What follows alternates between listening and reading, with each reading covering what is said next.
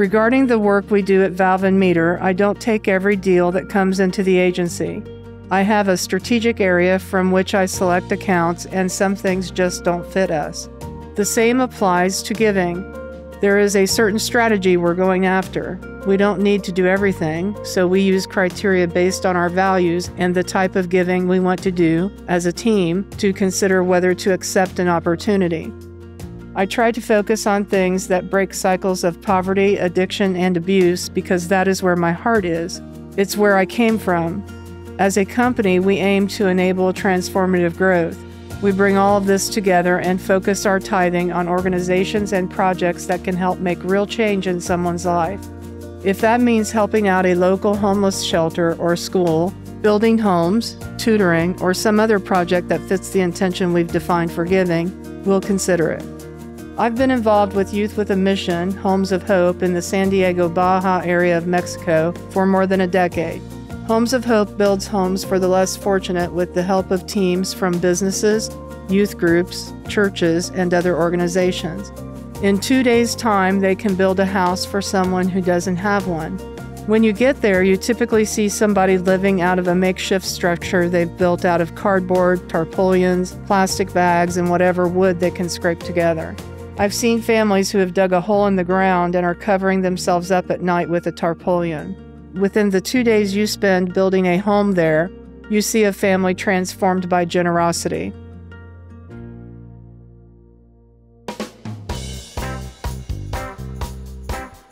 This is Here We Grow, a show for growth minded leaders looking for transformational impact, hosted by Marsha Barnes. True business leaders operate with a mindset of making a positive change in the world. In this episode of Here We Grow, we speak to Andrea East, Director of Advancement at Youth with a Mission. In their conversation, Andrea and Marsha recount several stories of the transformative power of faith and service in both a business setting and across numerous mission trips.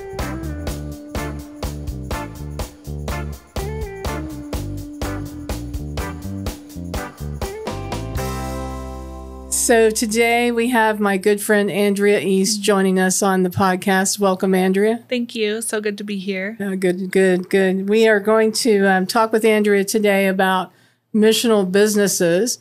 Andrea is the Director of Development for Youth with a Mission San Diego Baja Homes of Hope program, which we've enjoyed participating in as our family and the business as well over the years and watching you basically grow up from a little girl yeah. into this into this leadership role. Um, tell us about what Homes of Hope is doing, Andrea. Well, we love we love the way that your company and you guys have been a part and you have seen me since a, a, little girl. My parents started homes of hope. So i've been doing this since i was about three years old. Wow. And actually got to be a part of the first build with my dad who um, had met a man named sergio gomez. He was an ex-boxer and my dad was in tijuana interested how can we help um, the poor? How can we help the people in need here in this region? And Sergio said, what the poor really need is stable housing. Mm. And he encouraged my dad, kind of taught him the model, and said, if you look for a family who owns their own land, but doesn't have the, the income to be able to build a shelter, and if you help them with that shelter, you're going to change the trajectory of their life. And so he came to Mexico to do one house brought me when I was three years old. And I fell in love with the family next door and said, But dad, are we going to build a house for that family too? and so couldn't say no to his three year old daughter. He called up another team and said, Please, I need you to come to Mexico and build a house for this family. And that's how Homes of Hope was born. That was 30 some odd years ago. Wow. And I guess 33, I'm getting old. 33 years ago. And we've done over 8,000 homes in 27 different Whoa. nations since that point. Wow. 27 nations, 8,000 homes. Yeah. Because the little girl says, Are we going to build a home for that one? yeah. Uh, it's pretty cool that I got to be a part of that. I, I want to just say one other thing about that because I don't want to take all the credit. Um, obviously, my parents did an amazing work, but on that build when i now that i'm older and i have my own three-year-old child and my own husband and i look at what happened on that build when my dad brought me down I imagine that I was kind of abandoned as a three year old girl on the work site. Uh, if you know my dad, you know that that is the case. And this lady that was living in a bus that had crashed on the side of the hill in extreme poverty must have taken me in because I became friends with her kids. I remember mm-hmm. going into the bus and being a part of their family for a few days. And so I did have an impact on that second home of hope, but it was really what I like to say, it was really Maria who had a heart of hospitality and said, if I don't take care of this girl, probably nobody will. And and that's really why Homes of Hope was started, I think, yeah. because of the hospitality of a woman that was living in poverty. That's fantastic. Did she get a home? She got a home. She yeah. got the second home of hope. That was the that was the family. That's a lovely. Now you have a metaphor you use that describes how the ministry works and, and how it's, yeah. what its cause is. Why don't you yeah, we love to tell the starfish story mm-hmm. as a really good example. So the story goes that there was a young boy walking along the beach um, after a large storm had crossed. And he's walking and he notices that there's thousands of starfish lying along the shore that had been washed up. So he bends down, he picks up a starfish, he throws it back in the water. And as he's doing this, an adult walks down to the beach and says, Son, what are you doing? He said, Well, I'm throwing these starfish back into the water. And he says, There's thousands of starfish. How could you possibly make a difference? And he picks up a starfish, looks at it, throws it back into the water and said, It matters to this one. And um, a lot of times when we look at global poverty, especially if you want to look at it on a global scale, it's overwhelming. How could yeah. you possibly make a difference? And that paralyzes us. Um, but as a ministry, we want to be like that little boy and pick up one more and say, well, it matters to this one. So that's why we keep going. Wow. It's impressive work. And having participated in it for many years, um, it's overwhelming the impact that it's having. Mm-hmm. Um, so we're in poverty stricken parts of Mexico. Mm-hmm. We're building homes. Why is it important for folks to have a home in Mexico? The f- communities where we build in are largely communities where people have immigrated or migrated into that area. A lot of times because of just extreme desperation in southern Mexico, Central America. So they come to Tijuana and Ensenada. There's actually jobs in those regions. So they'll come with the hope of a better life, but then they get here and they have no family system that would back them up. They don't have grandparents they can live with. They don't have a community of people that they know. And so they're really left alone, but they want to be in a stable community. And so mm-hmm. every time we build a home for one family, we're creating a, a unit of stability in that community so that they can then grow and flourish and do the hard work of pulling themselves out of poverty. And it's been really cool to see year after year um, when you go back and visit a family, the first time you go back to visit, maybe say three months out, maybe they've got a refrigerator. That means they can store their food longer. It means they've got electricity. It means they're slowly doing better. And then maybe the next time they've put tile on the floor, they've built a bathroom onto the side, but they're their lives keep getting better and better. Um, you know, the house that we give them is just a really cool starting point. It's awesome. Prior to them being in that house, most of them are living on dirt.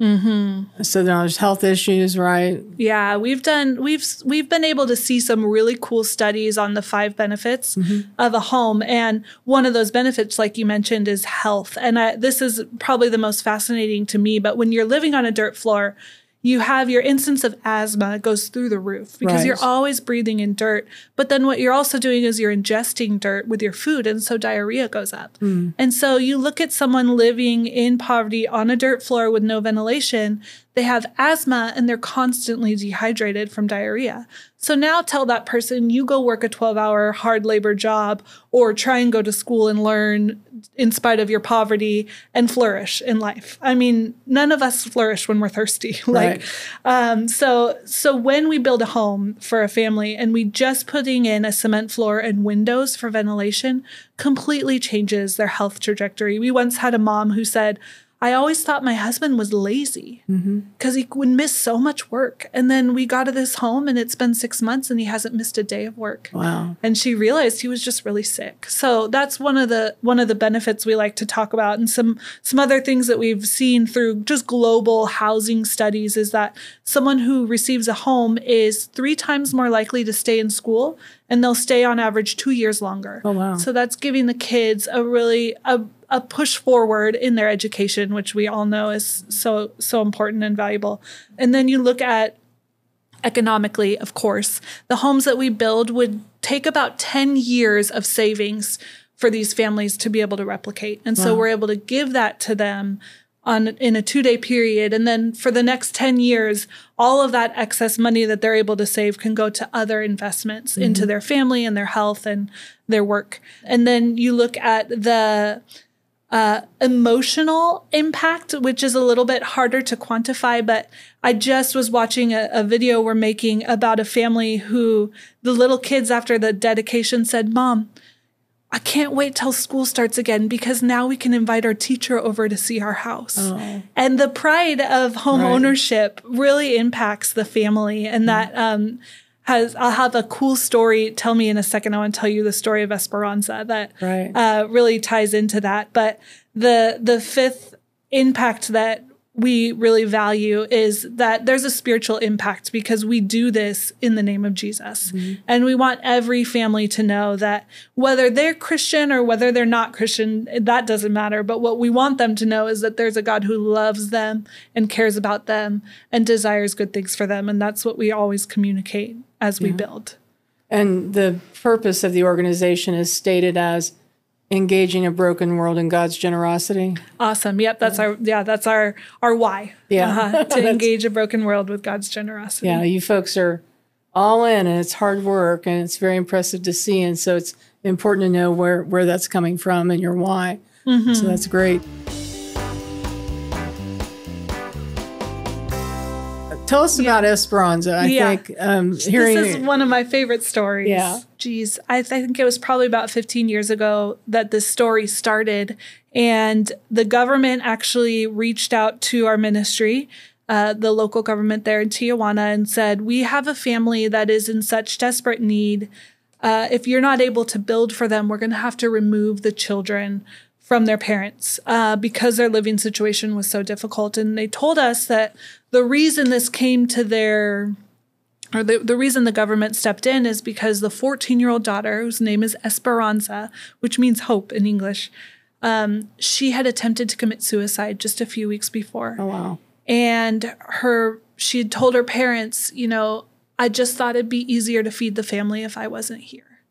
And she was one of five. They were splitting a little packet of top ramen every night for dinner. That was all they could afford Five people, one packet. five kids, Oh my family goodness. of seven. And when we stepped in, it was a really difficult situation. And a family that's living like that, you know, the mom and dad are not necessarily thriving from the beginning, and the the children were sick. It was really hard um, to see them in those conditions. So we had a team, actually a local team here from Indy, came um, a business here came down built their home. It was such a cool experience because it was just this radical life saving transformation. I remember going back just a few weeks after we finished their home, and the littlest um, boy in the family, he was two at the time, had had just horrible red blisters all over his face from sun exposure, you know? goodness. And we we go back and his he just had like baby soft cheeks like you would expect from a two year old. Right. And um, you could see that the family began to thrive and we helped the mom start a tamale business and we really wanted to wrap our arms around this family. Um, and we loved them. I loved them. I visited quite often but about six months in the story took a turn and we we go to visit them and the neighbors tell us well they've they've sold their house and left town.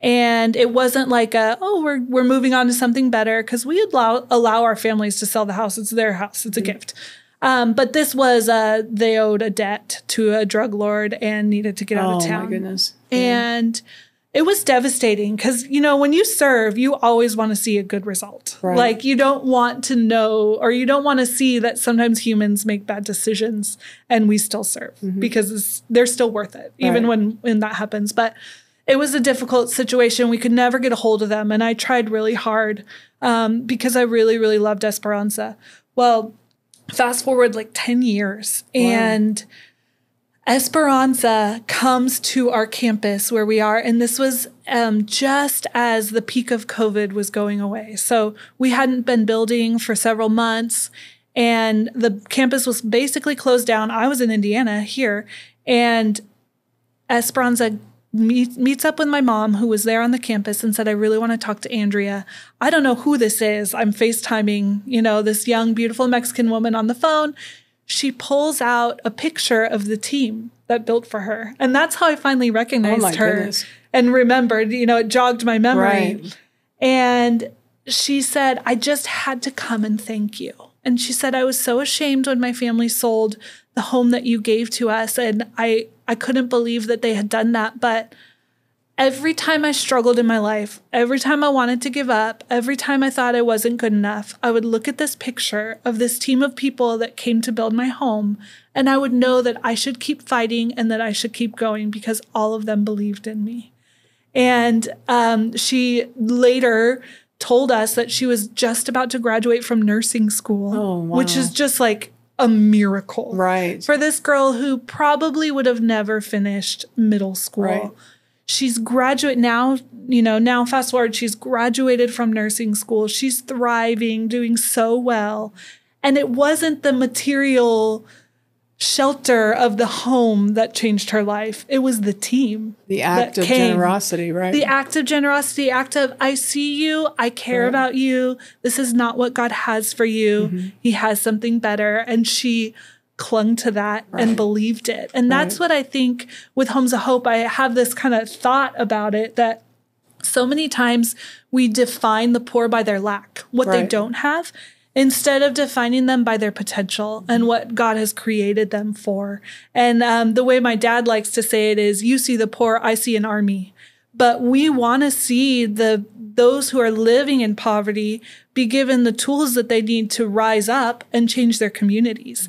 And actually, 26 of our staff grew up in a Home of Hope house and are working now full time with us and doing that. But even thousands more have received a home and have really taken up the charge to do something for their community and it made me think of I loved reading your book. Oh, I just I laughed and I cried and I was challenged and encouraged but there's this one, you know, line which I'm sure you have burned into you uh, much more than I do. But you say here, the day I lost just about everything and found myself on my knees, crying in my living room and holding my babies, changed everything. I was able to quiet my mind long enough to hear what God had been trying to tell me all my life. I am strong, I am capable, and I have all the tools I will ever need to do the work He put me on this planet to accomplish. Like, what a beautiful truth that you learned that not in your greatest success, but in your greatest failure moment, you know, Right. or your your greatest trial. I see that for our families as well, that we that through the adversity that they've lived, mm-hmm. God has been raising them up and blessing them. And this material gift of a home is just a part of releasing them into what He has for them. the fundamental difference of what I had in that moment to what a lot of folks miss is I knew I was created for more than that. Mm-hmm. Yeah. You had that truth. You, you, you, there's most people don't think they've got what it takes, right? Hmm. But I knew that part. I just didn't know why it kept breaking, which was because I wasn't, I wasn't looking to God for it. Hmm. So then I can see where that's very true of the folks you're encountering as well. Yeah. Yeah. Yeah. It's um it's interesting that it took so long for that story to redeem itself with you too. I know hmm. I know you're not attached to the outcome. So many people get attached to when they give, they're expecting this thing to be this certain way and you just have to release attachment to it. Right. And um but the story got redeemed after 10 years went by, Yeah. right? And this person shows back up Yeah. breathing new joy into you. Yeah. Totally. And the timing was so of the Lord because the next day we were scheduled to build our first house post COVID. Right. And there was, you know, several people on our staff who were very concerned like is it worth it to go back in the community if we could spread sickness? Right. You know, like which was a which is a valid concern. Like there's a risk. And um Esperanza stepping onto our campus like galvanized all of us to realize like it is a hundred percent worth it to make the impact that we're making so that future generations don't have to grow up the same way. Right. So yeah, she was a real a real like directional piece for us to to take up the charge again. I've worked with other missionaries, other clergy, other pastors over the years. You guys work so hard. Your you, your staff, your parents, the leaders there. You are so in love with the work and the calling that mm-hmm. God's put on your life. Um, where do you where does that energy come from? You know, you you guys put it you leave it all on the floor, right? It's it's it's commendable. Sometimes I worry that you don't rest enough, but but how does how is it that this this ministry, not just in you, it's not just your dad, it's not just your mom, it's hundreds of missionaries who are working in this cause, both in the Baja Peninsula and the other posts that you've commissioned as well out of Homes of Hope. What's what what is it that's triggering that? Yeah, I mean, I think there you I could say a million things right, now, but the one that's coming to my mind is really the strong relationship. Mm-hmm. So your relationship to the Lord where he is communicating to you like it's worth it. You know, like mm-hmm. the things that you don't always see the fruit that you want to see right away, but then God communicates it's worth it through people like Esperanza or you know like he'll give us those stories that help give us the energy to keep going. But uh, relationship so relationship with god but relationship with each other. You know our staff are really tight knit and we care for each other. And if one person has a medical need and they can't cover the cost everybody donates. And i've had people come they're just blown away. Like how do you all live in such a in such a way that you know one person doesn't have enough they don't have to worry because we'll take care of it. So as a staff we really take care of each other and then we have such a strong relationship with the teams Right. and a bond with those who come and serve alongside of us and give that new fresh breath of air you know like i, I think if we were trying to build all the houses by ourselves as a staff we would burn out really quickly but Right. because every weekend we have more people coming and relationships that don't just last on the weekend but then you become friends and you knit your lives together Mm-hmm. with other people who are championing you and i think that really gives us longevity Right. Your team is people from all different countries. You Yeah. have now have quite a few Mexican born missionaries that are involved as Yeah. well.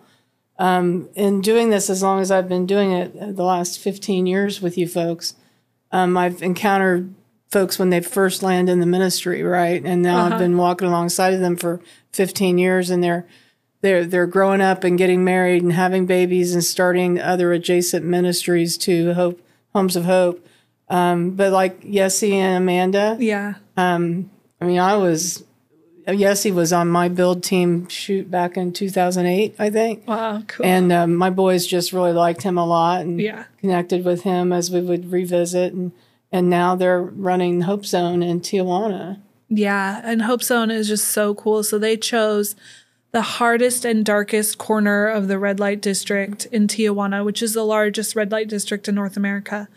And just they started with prayer walks and they said, Lord, what can we do? Wow. And on one of those prayer walks, they met a, a young mom who was actually selling her daughter into prostitution, um, just a, a very young child and um, that that encounter is what led them to start a ministry first for children to help encourage them to to choose a lifestyle that would be a safe one in their adulthood so it was a preventative ministry um, and then that grew and the mom started saying well do you have anything for us and then the dads were like, well, what about us? Yeah. So now they have an entire family ministry uh, just focused on being a light in that community. And they're working on building a community center, uh, which will be so awesome so that they can do just more in depth training and teaching and education. Right now, it's all outside, Right. just in an open area. So, Wow.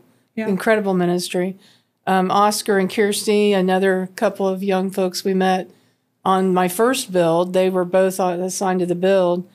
And I just was kind of watching between them at the time. And I said to Kirsty, Is that your boyfriend? And she goes, No. And I go, Not yet. And sure enough, now they're married and they have five kids, four or five kids. four. Four. Yeah. Just Yeah. had their, their fourth little baby. Yeah.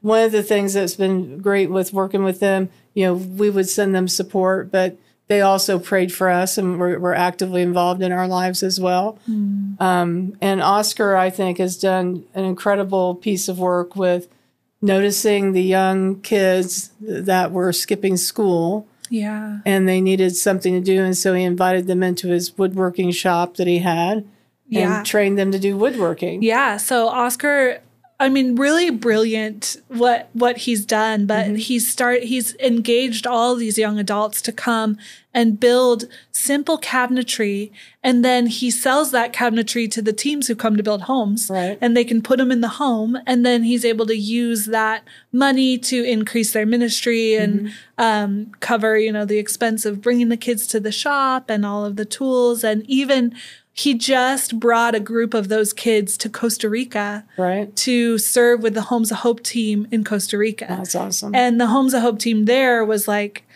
wow, like we we never had this vision for our young people that they would be the missionaries and that they would go and serve and do. And so I think it was a real a real big inspirational thing for them. But Kirsty Yeah. and Oscar have put it all all on the line and given their their hearts and their lives to to to a lot of communities, but one in particular, and they've actually are starting a community center there now, Nice, so they'll be closer in um, rather than bringing people to the campus. Yeah. But um, so beautiful to begin to see the fruit of Right. that. And you know, boys not having boys not going to school and not having anything to do is a recipe for a trip, quick trip into drugs or Yeah. some sort of nonsense. You know, they just be and they just become so vulnerable to the cartels who are Mm-hmm. Right. always recruiting young men who don't have a lot to lose. Yeah. So in in exchange they get encouragement from fascinating adults, right? Mm-hmm. Um, and just wonderful, wonderful engagement there. But they also are taught a vocation that they can lean on Yeah. in the future too. Yeah, and even beyond something that's been so interesting to me recently is the idea of soft skills and Yeah. beyond maybe they won't be a carpenter, but they'll know how to arrive on time, Mm-hmm. take simple criticism, follow through with what they said they're going to do. And those sort of things are not being developed um, very well in a lot of these impoverished communities because people are just surviving. Right. Um, so I think that's that's kind of a gift that we don't even realize right. how big it is. It's remarkable. Yeah. So over the years, um, I've I'll be going next month on my 21st build with your team, and um, so I've my family has gone, and it just had an extraordinary impact on my children.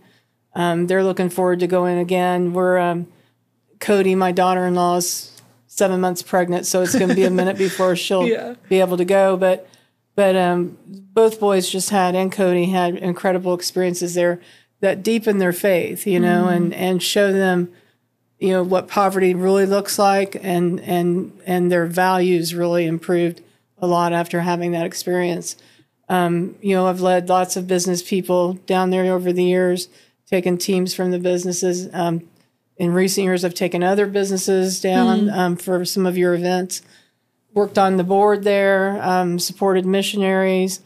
Um, but the deepening my faith, the deepening of my faith in a place that I've gone to serve, there is no place else that works that way for me. You know that that um, that coming and helping and volunteering, I learn something new about God or God's relationship with me every time. Yeah. Yeah, Yeah, you really connect to God in a u- unique way through service because Right. you're you're literally being his hands and feet and even people who don't know the Lord will come back being like that was the most spiritual experience I've ever had. right. Yeah.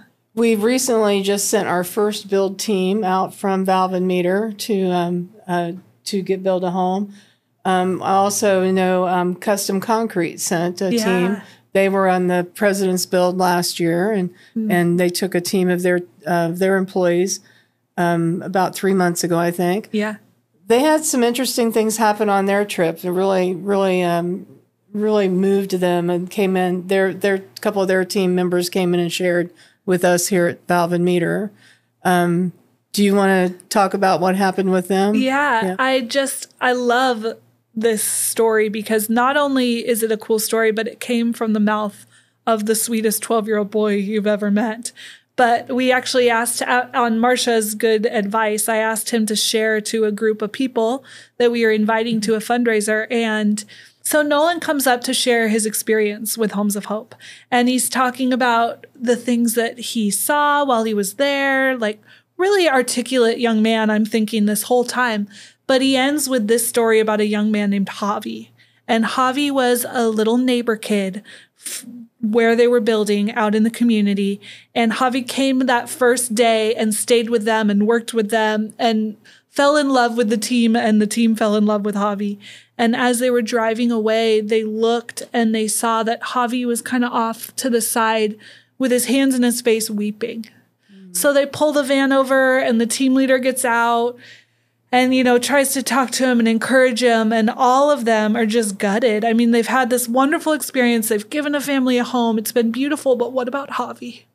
And um, so nolan says that he and his dad just kept thinking like what if javi's the starfish that we couldn't get? You know going back to the story that i told at the beginning of the starfish like what if javi's the starfish that got away?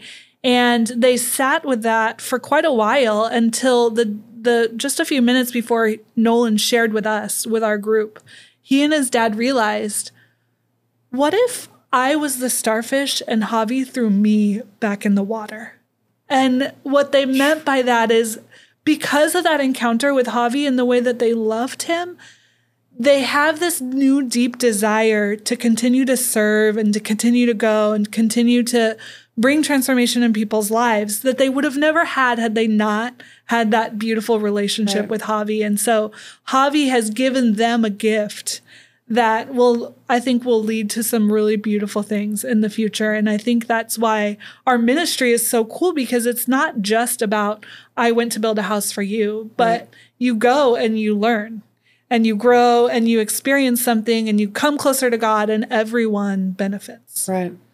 Yeah, knowing uh, Chris, um, Nolan's dad, um, there's also an important part of that. They, their team, and they had their eyes wide open. Right, mm. they weren't just they weren't just looking at we're building a house. They were paying attention to what was going on around them. You know, and engaging the hobbies and the family members yeah. and the team and your team as well just incredible to see. I mean, I know what I've experienced through your ministry, but when I see others multiplying it, it always gives me a great deal of joy. yeah, totally. Yeah.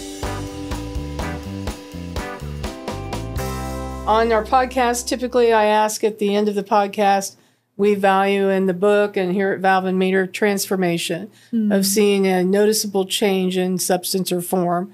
And um, so I always ask people, can you share with me? You work and everything you're doing is in transform, transformation, but if you could share with me a time when you've seen something transform in someone. Yeah, I think I'd love to share a story of when I felt a transformation in my life, and it was with you, Marcia. Um, you know, many years ago, I got invited to. Uh, a conference is called, I guess, mm-hmm. a convention, convention yep. that Defenders was running for their employees. And so Defenders brought over 5,000 employees and families to build homes. Am I, is that number correct? Right, I think. Right. Yeah uh, just became an incredible part of the Homes of Hope culture, but it mm-hmm. also became an incredible part of the Defenders culture. Right. So I was hosting a booth at, at a convention one year. I met my husband there, so it was a pretty good year for oh, me. Oh, that is a good year. Um, I didn't um, realize yeah. that. but something else brought that transformation that day. And I, I went into the convention, and you were on stage, Marcia, and you were sharing uh, going through a, a series that you had done with your staff on bringing transformation in their own lives. And it's something that you mentioned in the book that was really a catalyst for you of focusing growing yourself more than growing your business. And i think you guys then defenders then coined the phrase um, businesses don't grow people do. Right. And that that phrase in turn really transformed our ministry because we began applying that to the missionaries how can we grow our staff right. and invest in them but on this particular day um, this was before all that happened i believe and you were up on the stage sharing with staff who had seen transformation in their lives because of a, de- a good decision they made and you were encouraging them and there was this anointing on you like i had never seen before like you were the the this amazing missionary in a field that nobody else could reach but you. You are the CEO of this huge company. Every know, like it's so successful, doing really well, but the focus is not on that success. It wasn't about how cool you were, even though at that moment I was like, oh my gosh, she's so cool. I want to know her. But the focus was on what is the Lord doing in the lives of my employees. Really, it was a mm-hmm. holy moment. Right. And I sat there as a missionary thinking, like, I never realized how amazing the mission field is mm-hmm. for a business leader. And to, to see you in leading in such a beautiful way, in that way, as a strong woman of God, really encouraged me and in my own growth and my own leadership that, you know, more than what I believed is possible is possible. And uh, the impact that you were able to have just because of your yes was so cool to see. Thank you, Andrea. That's very, very kind, and it's a reminder that you know you always have to make sure you're doing something good when others are watching. Because here, here's this young lady watching the, in the in the room and getting an impact that I wouldn't have seen otherwise. Um, that what we were doing in that event was um, transformation is a here to there type of story. You were here and you went there. And so we had challenged the team in the months leading up to the um, convention to compete in um, producing their here to there story. Um, they could pick any type of thing they were going to work on. There were a lot of folks that selected weight loss. Um, there were folks who selected things like um, keeping my blood sugar at the correct amount. Um, there were folks that became debt free. Um, there were folks who um, were going through um, training, you know, like uh, going back to school or taking a course or something like that. And then they wrote about what they had done. And if they were selected as a finalist, we sent them on a um, shopping spree and got them a personal stylist and sent them to Yeah. D.L. Lowry. You know, David's come and built homes Yeah. Yeah. with you before, and so he would take care of their hair and their makeup if needed, and and so they got new outfit, they got new wardrobe, and they got made up, and then they had their before picture and their after picture, and they were telling their story of what had happened with them. oh, yeah. Yeah. Yeah. I mean, there were folks that had lost hundred pounds, you know, got rid of, you know, two hundred thousand dollars of debt that they had. You know, it was it, it was the non-work goal. you know, Yeah. not how much money you're going to make or promotion, but what are you doing to work on yourself? And just the way that you celebrated people in that moment was what really impacted me of just like the the ministry that we can have just by simply celebrating Right. other people and mm-hmm. championing what God is doing in their life. Right.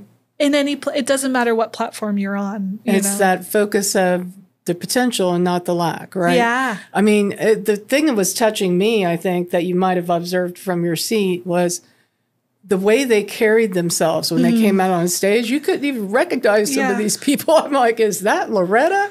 You know? and she was just gorgeous, but it was the way she was walking, you know, was with just with such confidence. Mm-hmm. Yeah. Um, Alan and I gosh, remember, still remember all those people. yeah. Alan and Bobby and Susie and yeah, and all the rest. But yeah, it was um, it was incredible to re- read what they had written and what had happened to them too, and the evidence of it. You know, so it was cool.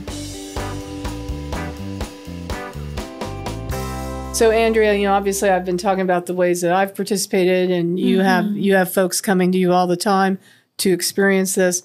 What's the best thing to do if someone's listening today and they want to find out more about Homes of Hope and uh, and talk with someone about maybe going on a build or supporting the ministry financially? How should they reach out? Yeah.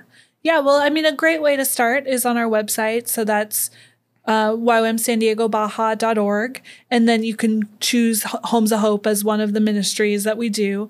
And you can see there, you can watch videos, you can see more about who we are.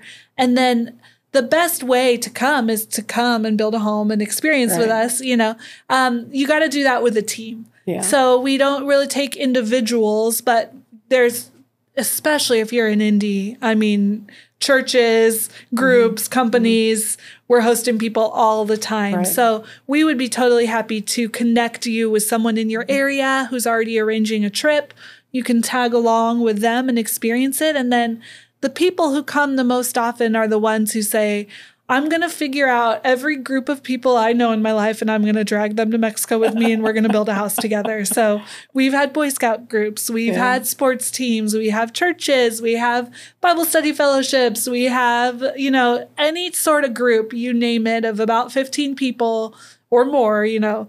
Um, can come and build a house. And the way that we operate, we have the teams cover all their own travel expenses and the cost of the home and uh, we take care of all the rest. So we have all the tools there. Mm-hmm. We pick you up in buses, and you you stay with us on our campus. We cook all the food for you. We take care of everything. All you have to do is show up and have a current passport. The campus is absolutely gorgeous, and the hospitality is off the charts. the The mm-hmm. food is lovely. You'll be a little bit embarrassed that you feel like you're kind of maybe at a resort and on a mission trip. So. we we do we do like to make it a low barrier. Yeah, you know, right. like there's some there's some people who do it and they uh, other ministries, you stay in a tent, you bring your own food, you know, mm-hmm. you purify your own water with one of those straws. That's great. That's not, but no, it's not necessarily not our target market. We want to be, we we call it full service missions, but we want people to be able to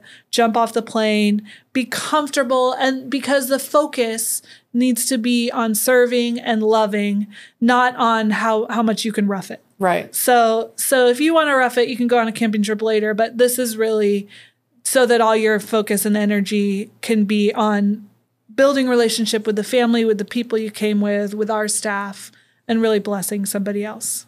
Yeah. Great. I highly encourage it. If you have any questions, you can ask me about it too. Yeah, you can send an email. We can put it in the comments of yeah. this podcast, but hope at ywamsdb.org gets directly to me. And um, I'm happy to answer questions and help connect you. Fantastic. So, Thank you, Andrea, for joining yeah, us today. Thank you.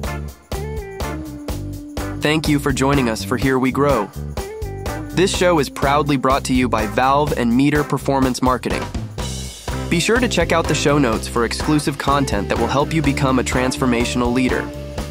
For more, visit mathbeforemarketing.com slash podcast